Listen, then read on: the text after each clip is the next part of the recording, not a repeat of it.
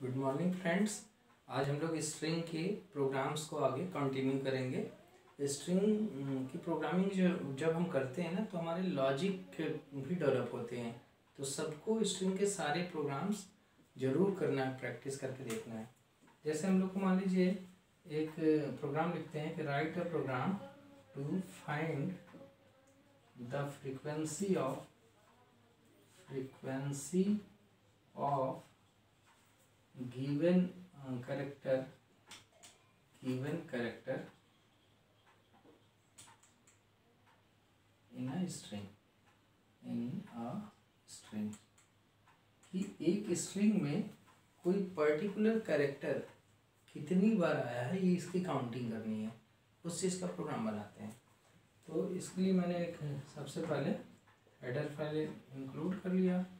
S T D I dot H input output के सारे function get S put S ये सारे get C H A R ये सारे सारे इसी में हैं इनपुट आउटपुट वाले। फिर मेन फ़ंक्शन स्टार्ट किया मैंने वर्ड मेन इसके अंदर मैंने एक करेक्टर टाइप का एरे डिक्लेयर कर लिया, मान लीजिए एन नाम का थर्टी साइज़ जो भी साइज़ आप चाहें।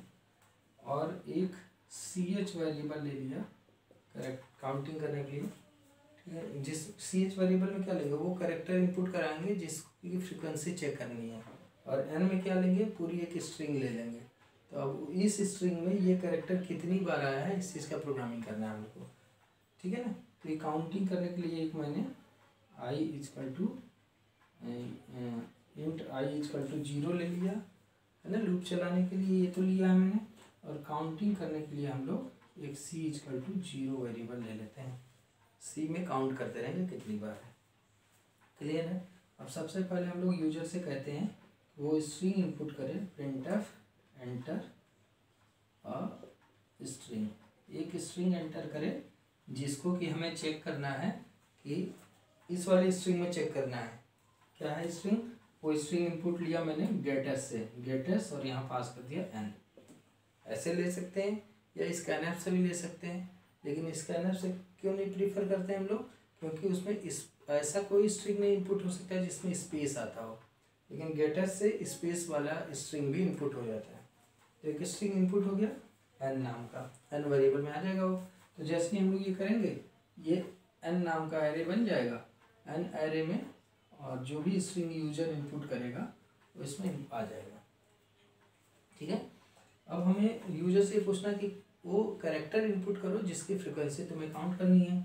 तो मैंने लिखा print F print F enter a character enter a character वो करेक्टर एंटर करा लेते हैं, जिसकी फ्रिक्वेंसी हम चेक करना चाहते हैं।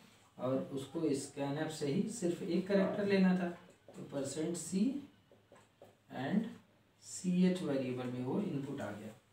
तो अब एन वेरिएबल में इनपुट हो गया वो स्ट्रिंग सी एच में वो इनपुट हो गया कि कौन से करेक्टर को ढूंढ रहे हैं हम लोग। इस स्ट्रिंग एन में ये वाला करेक्टर सी एच कितनी बार है, ये इसकी काउंटिंग हमें करके प्रिंट करना है। तो कैसे करेंगे हम लोग? यदि मैं बात करूँ इस प्रोग्राम की, देखिए लॉजिक क्या है। यदि कभी भी किसी स्ट्रिंग की ट्रावर्सिंग करनी है ट्रावर्सिंग का मतलब हर एक करेक्टर को वन बाई वन एक्सेस करना है तो हम लोग क्या करते हैं initially I equal to zero किया है मैंने, लिखेंगे वाइल लूप लगाएँगे while N of I is not equals to slash zero क्यों ऐसा किया भाई? क्योंकि जैसे करेक्टर जैसे ही स्ट्रिंग इनपुट होता है, वो इनपुट स्टोर करने के बाद कंप्यूटर उस स्ट्रिंग के बिल्कुल लास्ट में नल करेक्टर स्लैश ज़ीरो लगा देता है।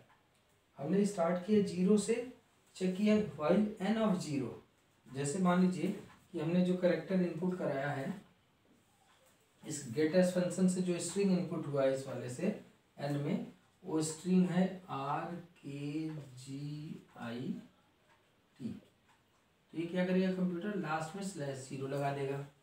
ठीक है ना?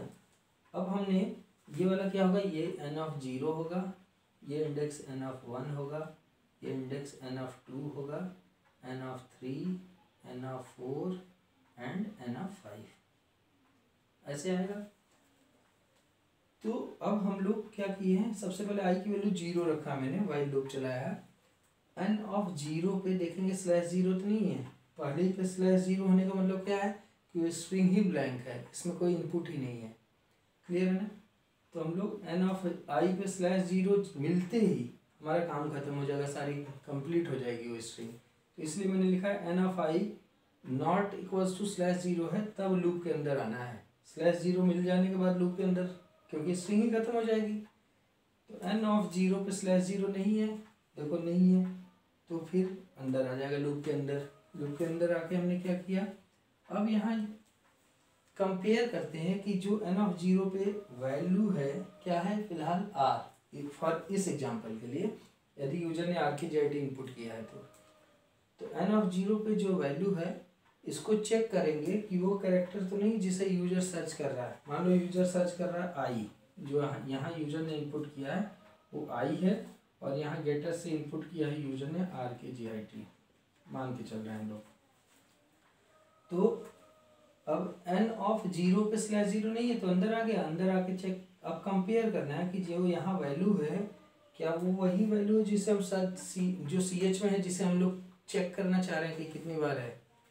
तो कंपेयर कर लेते हैं कि इफ़ एन ऑफ़ आई पे जो वैल्यू है, वो equal equals to C H है क्या?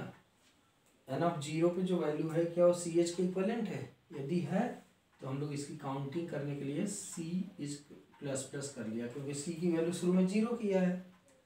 तो सी प्लस प्लस करने से क्या होगा? जब जब एन ऑफ़ आई पे वैल्यू सी एच के इक्वल होता जाएगा, जब जब मिलेगा, तब तक सी की वैल्यू बढ़ाता रहेगा वो। क्लियर है? काउंटिंग हो जाएगी। क्लियर है? और यहाँ पे हम लोग क्या करेंगे? आई प्लस प्लस लूप से निकलने से पहले आई की वैल्यू बढ़ा दी है। शुरू में आई की वैल्यू ज़ीरो थी। अब देखिए कैसे होगा। चेक करेगा कि एन ऑफ़ ज़ीरो पे स्लैश ज़ीरो है क्या? नहीं है। नहीं है तो अंदर आके चेक किया क्या एन एफ़ ज़ीरो पे सी एच वाली वैल्यू है क्या? सी एच में हमने मान लो आई सर्च कर रहे हैं। एन ऑफ़ ज़ीरो पे आर है सर्च हम आई कर रहे हैं तो N F R is equals to C H नहीं है तो काउंटिंग नहीं बढ़ेगी। क्या करेगा? आई की वैल्यू बढ़ा देगा। आई की वैल्यू वन हो जाएगी। यहाँ से फिर यहाँ चेक करेगा क्या एन ऑफ़ वन पे स्लैश ज़ीरो है। एन ऑफ़ वन पे स्लैश ज़ीरो नहीं है। तो अंदर आएगा चेक करेगा कि एन ऑफ़ वन पे क्या सी एच वाली वैल्यू है। एन ऑफ़ वन पे सी एच की वैल्यू हम लोग आई मान के चल रहे हैं। तो एन ऑफ़ वन पे क्या आई है? नहीं है। तो फिर अंदर नहीं जाएगा। यहाँ आ गया। आई की वैल्यू बढ़ा देगा। आई की वैल्यू टू हो जाएगी। चेक करेगा कि एन ऑफ़ टू पे स्लैश ज़ीरो है क्या? एन ऑफ़ टू पे स्लैश ज़ीरो नहीं है। फिर अंदर आया। N of two C H के इक्वलेंट है क्या? सी एच हम लोग आई को सर्च कर रहे हैं। तो एन ऑफ़ टू पे आई है क्या? नहीं है। फिर आई सी की वैल्यू नहीं बढ़ाया फिर आई बाहर निकल के आई की वैल्यू बढ़ा देगा। ये ध्यान रखिएगा, ये आई इस इफ़ के अंदर नहीं है, इस वाइल का पार्ट है। ठीक है? तो आई की वैल्यू अब क्या कर दिया? फोर यहाँ गया, यहाँ से कंडीशन के पास जाता है। यहाँ गया एन ऑफ़ फोर पे स्लैश ज़ीरो है क्या? एन ऑफ़ फोर पे स्लैश ज़ीरो है। एन ऑफ़ थ्री पे पहुँचे ना टू के बाद थ्री पे आया। एन ऑफ़ थ्री पे टू था, फिर आई की वैल्यू थ्री हुई। एन ऑफ़ थ्री पे स्लैश ज़ीरो है क्या? नहीं है। देख लो एन ऑफ़ थ्री पे। तो नहीं है तो फिर अंदर आ गया चेक करेगा एन ऑफ़ थ्री पे क्या सी एच है क्या? सी एच आई हम मान के चल रहे हैं। तो क्या एन ऑफ़ थ्री पे आई है एन ऑफ़ थ्री पे आई है यस है, ये कंडीशन ट्रू हो गया तो सी की वैल्यू बढ़ा देगा सी की वैल्यू वन हो गई। क्लियर है? क्लियर है? उसके बाद आई की वैल्यू बढ़ाएगा आई की वैल्यू अब हो गई फोर एन ऑफ़ फोर पे स्लैश ज़ीरो है क्या? नहीं है तो चेक करेगा कि एन ऑफ़ फोर पे सी एच है क्या? एन ऑफ़ फोर पे आई है क्या? नहीं है तो सी नहीं बढ़ाएगा। फिर आई को बढ़ा देगा N of five N of five N of five हो गया आई की value five N of five पे स्लैश ज़ीरो है क्या? है ना? जब स्लैश ज़ीरो नहीं है, तभी अंदर आएगा। स्लैश ज़ीरो आते ही कंडीशन फॉल्स हो जाएगी और बाहर निकल जाएगा। N of zero is not equals to slash zero ऐसा तो नहीं है, क्योंकि एन ऑफ़ फाइव पे देखो स्लैश ज़ीरो ही है तो ये कंडीशन फॉल्स हो जाएगा कंट्रोल बाहर निकल जाएगा। क्लियर है? इस तरीके से इसे एक एक स्ट्रिंग हम उठाते गए और सी एस से कंपेयर करते गए आई को बढ़ा बढ़ा के, बढ़ा बढ़ा के। वन आई की वैल्यू ज़ीरो हुई, फिर वन हुई, फिर टू हुई, फिर थ्री हुई, फिर फोर हुई। कब तक बढ़, बढ़ाते जा रहे हैं और हम लोग एन उसको सी एच से कंपेयर करते जा रहे हैं। जब जब सी एच से मैच करता जाएगा सी की वैल्यू बढ़ा देंगे। मान लो ऐसा रहता, यहाँ दो बार आई लिखा रहता। यदि यहाँ, ये दो बार आई रहता। तो एन ऑफ़ थ्री के टाइम पे भी ये दोनों मैच करते और सी की वैल्यू बढ़ जाती। फिर एन ऑफ़ फोर पे भी आई ये मैच करता कंडीशन और सी की वैल्यू फिर बढ़ जाती। तो सी की में क्या होगी? काउंटिंग हो जाएगी कि कितनी बार ये करेक्टर पर्टिकुलर जिसको आप सर्च कर रहे हो कितनी बार आया है। तो लूप से बाहर निकल के हम लोग क्या करना है? बस उस फ्रिक्वेंसी को प्रिंट कर देना है। यहाँ पे हम लोग लिख देंगे प्रिंट एफ़ लिखा print F frequency of frequency of percent C equals to percent D comma C H comma C C H में वो करेक्टर है जिसकी फ्रीक्वेंसी निकाल रहे हैं और सी में वो काउंटिंग है कि कितनी बार है। सी एच जो है करेक्टर टाइप का था, इसलिए परसेंट सी लिखा और सी इंटीजर टाइप का था, इसलिए इसको परसेंट डी लिखा। तो लिखा जाएगा फ्रीक्वेंसी ऑफ़ मान लो इस केस के लिए frequency of I equal to two है ना?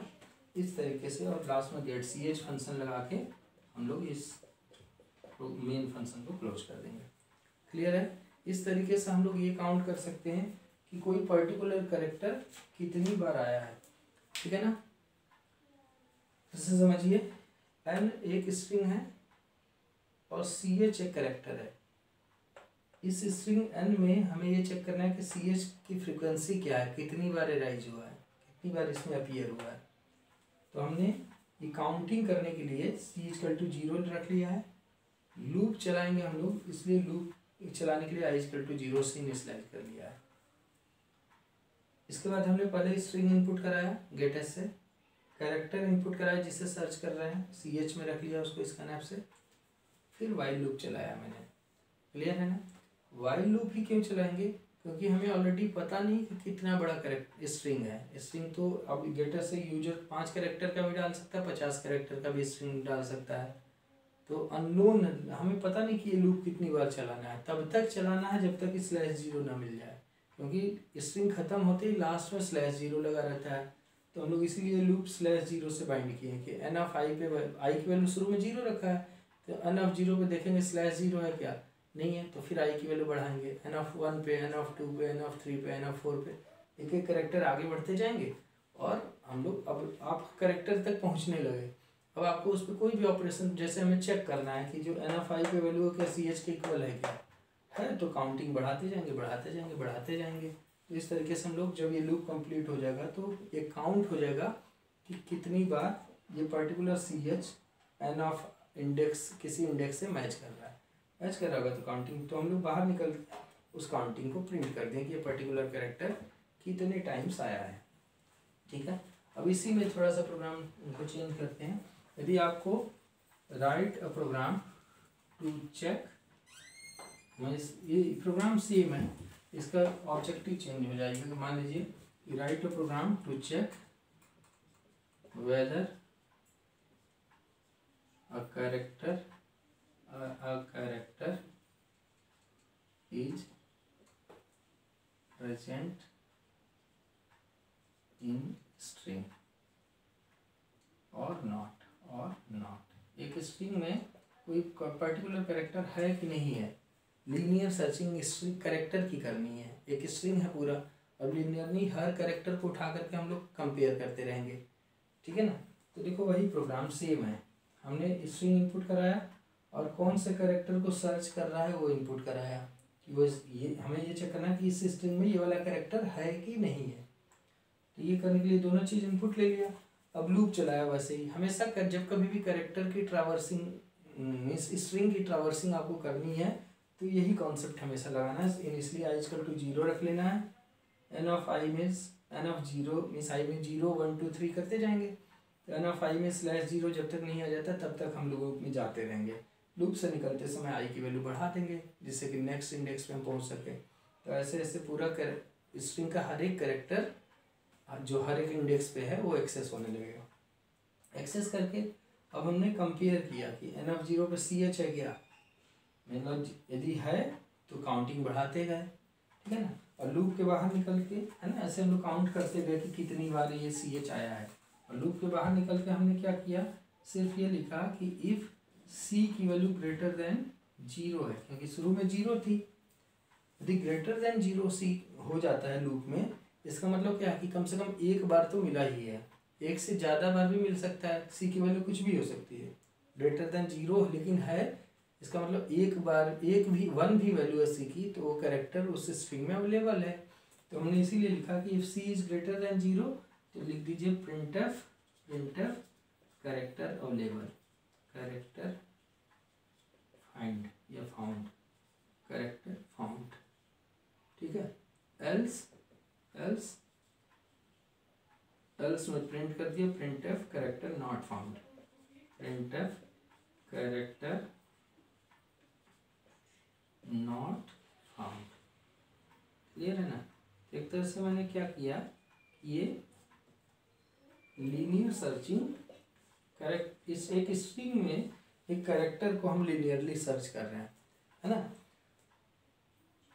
एक एक करके देखते गए कंपेयर किया कंपेयर करते, यहाँ काउंटिंग हम क्यों कर रहे हैं? क्योंकि भाई उस स्ट्रिंग में वो पर्टिकुलर करेक्टर एक से ज़्यादा बार भी तो आ सकता है, कितनी बार भी आ सकता है। लेकिन यदि वन टाइम भी आया है, तब भी वो अवेलेबल है, बीस बार आया है, तब भी वो अवेलेबल है। तो इसीलिए मैंने यहाँ लिखा कि सी की वैल्यू यदि ज़ीरो से ग्रेटर है तो मतलब अवेलेबल है। अदरवाइज़ यदि सी की वैल्यू ज़ीरो ही बनी रही इसका मतलब ये, इसके अंदर कभी भी नहीं गया, कभी भी ये कंपेयर होकर मैच नहीं हुए, ये कंडीशन कभी भी ट्रू नहीं हुआ तो इसलिए सी की वैल्यू बढ़ी नहीं, है ना? नहीं बढ़ी, कभी भी मैच नहीं हुआ, इसका मतलब अवेलेबल ही नहीं है उसमें, क्योंकि हम जा तो एक एक करेक्टर पूरे रहे हैं।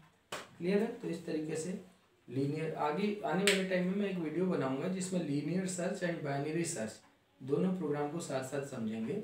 बाइनरी सर्च ज़्यादा इफ़ेक्टिव होता है और कैसे करते हैं उसको हम लोग आने वाले वीडियोज़ में हम लोग देखेंगे। क्लियर है? तो इस तरीके से हम लोग करेक्टर को फाइंड कर सकते हैं स्ट्रिंग में अवेलेबल है या नहीं है। बात करते हैं अगले प्रोग्राम की, कि यदि आपको एक प्रोग्राम बनाने को कहा जाए, जिसमें एक स्ट्रिंग में, एक स्ट्रिंग के अंदर आपको ये देखना है कि कितने काउंटिंग करनी है, कि उसमें कितने वॉवेल्स हैं, ठीक है ना? हमें क्या करना है? write a program. Write a program to find the frequency of Yeah, to find yeah, to count number of vowels con consonants consonants space number space and number in a string ठीक है? एक string में, एक string है कोई, उसमें कितने vowels हैं, कितने कॉन्सोनेंट हैं, कितने नंबर्स हैं, कितने स्पेसेस हैं, ये भी कर सकते हैं कि कितने नंबर ऑफ़ लाइंस हैं, ये भी लिख सकते हैं। एक और हम लोग इसमें लिख देते हैं। एंड नंबर ऑफ़ लाइंस यहाँ लिख देता हूँ आगे। Space comma number and number of lines कितने नंबर्स ऑफ़ लाइंस हैं? ये सारी काउंटिंग करनी है। तो अब हम लोग का क्या तरीका होगा? तरीका तो ये कि पहले उस स्ट्रिंग के हर एक एक करेक्टर को एक्सेस किया जाए। और एक्सेस करने के बाद हम कंपेयर कर लेंगे कि वो वॉवेल है कि कॉन्सोनेंट है कि नंबर है, कि स्पेस है, कि एंटर है, क्या है, ये चेक कर लेंगे। तो देखते हैं इस प्रोग्राम को। देखिए, हमने हेडर फ़ाइल इंक्लूड किया। Hash include S T D I O dot H void main और इसके अंदर मैंने एक करेक्टर टाइप का स्ट्रिंग इनपुट करा लिया एन ऑफ़ थर्टी मान लीजिए, या फिफ्टी लिख देता हूँ। फिफ्टी साइज़ का एक करेक्टर एरे बना लिया जिसमें स्ट्रिंग इनपुट करा लेंगे। क्लियर है? इसके बाद अब काउंटिंग करने की है ना? तो हम लोग इंट टाइप का, क्योंकि काउंट नंबर्स हमें चाहिए हमने लिखा number of vowel N O V N O V किस लिए लिया? है नंबर ऑफ़ वॉवेल की काउंटिंग करने के लिए। ये ज़ीरो से इनिशलाइज कर लिया। फिर number of consonant N O C उसको भी ज़ीरो से इनिशलाइज कर लिया इनिशियली। इसके बाद number of space number of lines है ना? एंड नंबर ऑफ़ नंबर है ना? ये सब कुछ इनिशियली ज़ीरो से इनिशियलाइज कर लिया हमने। क्लियर है? Number of vowel number of consonant number of space number of lines number of number ये इनिशियली ये वेरिएबल्स मैंने इनके टाइप के सिर्फ़ इनिशियली ज़ीरो से इनिशियलाइज कर लिया क्लियर है? और सबसे पहला काम क्या है? कि हम लोग यूज़र से कहें कि वो क्या इंटर करे? स्ट्रिंग इंटर करे। तो मैंने यहाँ लिखा printer printer enter string enter a string इसके बाद मैंने क्या किया? यहाँ लिखा गेटस गेटस और यहाँ पे एन वेरिएबल को इनपुट ले लिया। आ गया स्ट्रिंग अब हम क्या करेंगे? अब हम लोग सीधे ट्रावर्सिंग स्टार्ट करेंगे। हमने एक वेरिएबल और यहाँ ले ले रहा हूँ मैं। I equal to zero int I equal to zero भी ले लिया लूप चलाने के लिए इनिशियली अब हम लोग यहाँ चलाते हैं while N of I not equals to slash zero जब तक आई में शुरू में ज़ीरो है है ना? तो एन ऑफ़ ज़ीरो पे चेक करेंगे स्लैश ज़ीरो आ गया क्या? एन ऑफ़ ज़ीरो पे स्लैश ज़ीरो मान लो स्ट्रिंग खाली है, बिल्कुल उसमें कुछ आई नहीं है। ठीक है ना? और हम लोग लास्ट में यहाँ पे क्या कर लेंगे? आई प्लस प्लस कर देंगे। तो देखिए क्या होगा। आई की वैल्यू शुरू में ज़ीरो है तो एन ऑफ़ ज़ीरो पे गया। फिर आई की वैल्यू वन हुई एन ऑफ़ वन पे गया। फिर आई की वैल्यू टू हुई एन ऑफ़ टू पे गया एन ऑफ़ थ्री पे गया एन ऑफ़ फोर पे गया। और जैसे ही एन ऑफ़ जो भी इंडेक्स पे यदि स्लैश ज़ीरो मिल जाता है, मिलते ही लूप के अंदर नहीं जाएगा। क्योंकि यहाँ क्या मैंने लिखा है? एन ऑफ़ आई पे स्लैश ज़ीरो नहीं है तभी अंदर जाएगा। जा, मिलते ही स्लैश ज़ीरो लूप से बाहर निकल जाएगा। क्लियर है ना? तो इस कॉन्सेप्ट से हम लोग स्ट्रिंग को कभी भी ट्रावर्स करते हैं। और वाइल लूप ही क्यों लगाया? क्योंकि आपको ये नहीं पता कि वो स्ट्रिंग कितना बड़ा है। है ना? फिक्स नंबर ऑफ़ टाइम नहीं चलाना। आप स्ट्रिंग भाई, आप तीस साइज़ फिफ्टी साइज़ का डिफाइन किया यूज़र ने पाँच ही साइज़ का स्ट्रिंग दिया है। दस ही साइज़ का दिया है। तो आपको ये जो लूप पे इट्रेशन करना है बार बार, वो कितने टाइम्स करना है? वो नहीं पता। लेकिन ये तो पता है कि तब तक करना है जब तक कि स्लैश ज़ीरो ना मिल जाए। तो जब तक और तब तक का जब कंडीशन रहता है तो हम लोग वाइल लूप का यूज़ करते हैं। फिक्स पता हो कि कितनी बार करना है तो फॉर लूप का करते हैं। और एटलीस्ट वन टाइम लूप के अंदर जाना ही है कंडीशन ट्रू हो चाहे फॉल्स तो हम लोग डू वाइल लूप का यूज़ करते हैं। ये ऑलरेडी बता चुका हूँ मैं आप लोग तो इसी कॉन्सेप्ट का यूज़ करके हम लोग एक एक करके करेक्टर को एक्सेस करने लगे। अब है ना फाइव में एक एक करके करेक्टर एक्स आने लगेंगे, जो भी उस स्ट्रिंग में है। क्योंकि जैसे स्ट्रिंग आएगा तो कंप्यूटर की मेमोरी में ऐसे एरे बनेगा और इंडेसेस में वैल्यू स्टोर हो जाएँगी। N of zero n of one n of two n of three ऐसे स्टोर हो जाती हैं। अब एक्सेस होने लगा। अब हमें क्या करना है? चेक करना है कि कहीं वो वॉवेल तो नहीं है। हमें ये चेक करना है कि वॉवेल है क्या? कॉन्सोनेंट है क्या? क्या है ये चेक करना है? तो इसके लिए हम लोग क्या करेंगे, यहाँ कंपेयर करेंगे। देखेंगे इफ़ एन ऑफ़ आई पे जो वैल्यू है, वो equal equals to small a हो, और एन ऑफ़ आई में जो वैल्यू है, वो equal equals to capital A हो।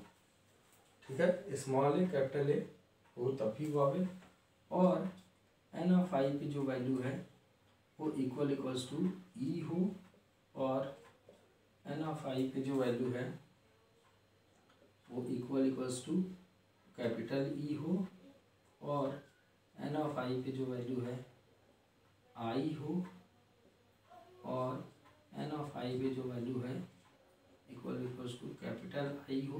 अच्छा ध्यान रखिए, जो हम करेक्टर लिखते हैं कभी तो करेक्टर सिंगल कोट में लिखते हैं कंपेयर करते समय। या ए ई आई ओ एन ऑफ़ आई पे जो वैल्यू है वो इक्वल इक्वल्स टू ओ हो, है ना? और एन ऑफ़ आई पे जो वैल्यू है equal equals to capital O हो, और एन ऑफ़ आई पे जो वैल्यू है, वो इक्वल इक्वल्स टू यू हो, और एन ऑफ़ आई पे जो वैल्यू है equal equals to capital U हो। देखो ए ई आई ओ यू सबको हमने लिख करके रख दिया। क्लियर है? हमने ए ई आई ओ यू सबको सबसे कंपेयर कर लिया। कभी भी कंपेयर कंपैरिजन होता है, इनमें से कुछ भी मिलता है, और लगाया है तो क्या होगा? नम वॉवेल होगा। तो इस केस में हम लोग number of vowel plus plus कर देंगे। N o v plus plus कर देंगे। जैसे ये कंडीशन कभी भी एक बार भी ट्रू हुई तो ट्रू होते ही क्या किया मैंने? N o v plus plus कर दिया। अब लगाएँगे एल्स इफ़ क्या लगाएँगे? एल्स इफ़ एल्स इफ़ क्यों लगाया? क्योंकि वॉवल सारे इसमें फंस जाएँगे। ठीक है ना? एल्स इफ़ जब यूज़ करते हैं हम लोग तो फिल्टरिंग होती है। पहला इसमें आ गया, इसमें जो बचा हुआ है, वो इसमें। तो इसमें कॉन्सोनेंट अब हम लोग कॉन्सोनेंट का सारा नहीं लिखेंगे कि ट्वेंटी सिक्स लेटर में से ट्वेंटी फाइव तो वॉवल हो गए तो अब यहाँ बाकी ट्वेंटी वन लिखते रहो। ऐसा नहीं है। हम लोग ए टू जेड का पूरा रेंज लिख देते हैं, और पूरा रेंज लिखने के बाद उस रेंज रेंज तो पूरा ए टू जेड रेंज लिखने का क्या तरीका हम लोग इस तरीके से लिखते हैं कि एन ऑफ़ आई पे जो वैल्यू है, वो ग्रेटर देन और इक्वल्स टू ए हो एन ऑफ़ आई पे वैल्यू ग्रेटर देन ए और एन ऑफ़ आई पे जो वैल्यू है, वो greater than equals to capital A है। ऐसे लिखते हैं रेंज ए से शुरू किया, है ना? ये स्मॉल ब्रैकेट में लगाया। और यहाँ लगाते हैं हम लोग एंड लॉजिकल एंड और फिर यहाँ लिखना होगा n of i lesser than equals to small z और n of i lesser than equals to capital Z ध्यान से देखिए। हमने क्या लिखा है? एन ऑफ़ आई की जो वैल्यू है greater than a and lesser than z अच्छा ये वाला और मैंने क्यों लगाया है? कैपिटल वाला भी देखा है या स्मॉल वाला? कैपिटल स्मॉल दोनों के लिए और लगाया है।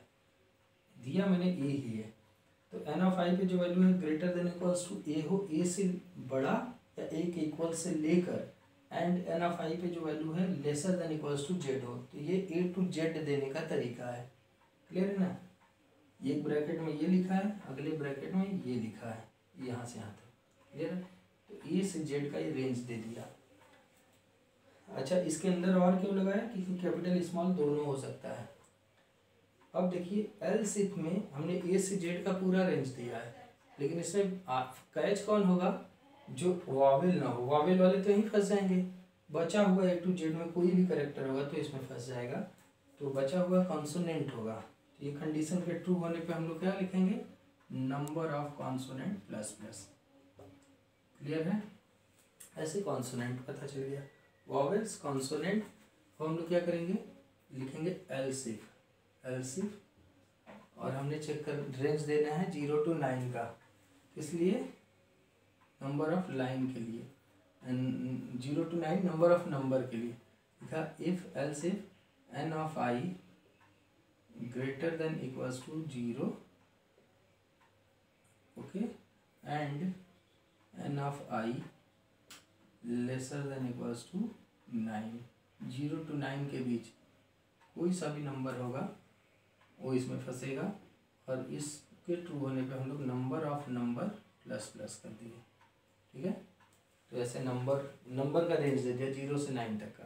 तो जो नंबर होगा इसमें फंस जाएगा। और वो नंबर ऑफ़ नंबर को काउंट कर देंगे, जैसे ही मिलेगा। एल्स इफ़ एल्स इफ़ अब हमने क्या किया? इस एन ऑफ़ आई पे जो वैल्यू है इक्वल इक्वल्स टू स्पेस दे दिया बस। यहाँ कुछ भी नहीं लिखा। ओपन क्लोज ब्रैकेट लगा दिया है कोड्स लगा दिया है बस।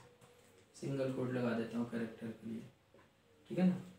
तो यदि ये स्पेस है करेक्ट ये कॉल ये दो कॉम इस कोड्स हैं। यदि ये रहता है, ये स्पेस हो गया। तो उस केस में हम लोग क्या करेंगे? Number of space plus plus कर देंगे। क्लियर अब लिखा एल सिर्फ़ यदि नम एन ऑफ़ आई पे जो वैल्यू है, वो क्या है? वो इक्वल्स टू स्लैश एन है। स्लैश एन क्या मतलब? जब जब एंटर हम लोग मारते हैं ना तो एक न्यू लाइन कैरेक्टर इंटर हो जाता है उस कंप्यूटर के मेमोरी में। तो स्लैश एन वहाँ आता है। तो जितने नंबर ऑफ़ लाइन होती हैं, हर लाइन के शुरुआत में स्लैश एन लगा रहता है। या तो पहली लाइन के लास्ट में या दूसरी लाइन के शुरुआत तो जब जब न्यू लाइन करेक्टर मिलता है, तब हम लोग क्या लिख देंगे? तब लिख देंगे number of lines plus plus ठीक है? तो ऐसे सारी काउंटिंग हो गई। और इस लूप के अगले इंडेक्स पे जाने के लिए लास्ट में हम लोग क्या करेंगे? I plus plus i plus plus जिससे कि हम लोग लूप में आगे बढ़ सकें। वाइल लूप बंद हो गया। यहाँ वाइल शुरू जो हुआ था, यहाँ बंद हो गया। तो ऐसे सारे इंडेक्सेस पे जाता रहेगा और करेक्टर को चेक करता रहेगा वावेल होगा तो इसमें बढ़ाएगा इसको। कॉन्सोनेंट है तो इसमें फंसेगा एनओसी बढ़ा लेगा नंबर है तो इसमें फंसेगा, ये बढ़ा देगा। स्पेस है तो ये बढ़ा देगा और न्यू लाइन करेक्टर है तो ये। तो सब काउंटिंग हो गई। ये चलता जाएगा लूप चलता जाएगा, सारी काउंटिंग इन वेरिएबल्स में आ जाएगी। अब हमारा काम क्या है? इनको प्रिंट करने का। तो यहाँ पे लिख देंगे printf printf number of vowels equals to vowels equals to percent d. Number of consonant equals to percent d. Number of space equals to percent d. Number of lines is equal to percent d, number of lines हो गया number of number equals to percent d और comma देके पहले percent D की जगह पे क्या आना है? Number of vowels comma number of consonant comma number of space comma number of lines comma number of number सारे प्रिंट हो जाएँगे। तो लास्ट में क्या करेंगे? हम लोग गेट सी एच फ़ंक्शन लगा के मेन फ़ंक्शन को बंद कर देंगे। क्लियर है? इस तरीके से ये क्या लिखा number of vowels equal to percent d number of consonant equal to percent d number of space equal to percent d number of lines equal to percent d number of number equal to percent d और comma देके सारे variables का नाम लिखा है। Last में ये main function जो यहाँ से मेन फ़ंक्शन चला था, वो यहाँ बंद हो गया। क्लियर है? ये वाला जो था, ये तो इधर का था। क्लियर है? इस तरीके से हम लोग एक एक स्ट्रिंग में ये चेक कर सकते हैं कि कितने वॉवेल्स हैं, कितने कॉन्सोनेंट हैं, कितने स्पेसेस हैं, कितने न्यू लाइन्स हैं। क्लियर है? उन सब की फ्रिक्वेंसी चेक करके हमने प्रिंट किया है। क्लियर है? इस तरीके से आप लोगों को ये प्रोग्राम चला, पता चल गया। कि कैसे हम लोग स्ट्रिंग की ट्रावर्सिंग कर करके प्रोसेसिंग करते हैं। नेक्स्ट वीडियो में आपको स्ट्रिंग के कुछ और प्रोग्राम्स बनाऊँगा, बताऊँगा, जिससे आपका स्ट्रिंग कंप्लीट हो जाएगा। Okay thank you thanks a lot मिलते हैं नेक्स्ट वीडियो में। आपको यदि समझ में आ रहा है तो आप सब्सक्राइब ज़रूर कर लीजिए और नोटिफिकेशन के लिए बेल आइकन पर प्रेस कर लीजिए। शेयर कमेंट ज़रूर करते रहिए, जिससे कि मैं भी मोटिवेट होकर के आगे अच्छे से अच्छा आपको प्रोग्रामिंग सिखा सकूँ। Thank you thanks allot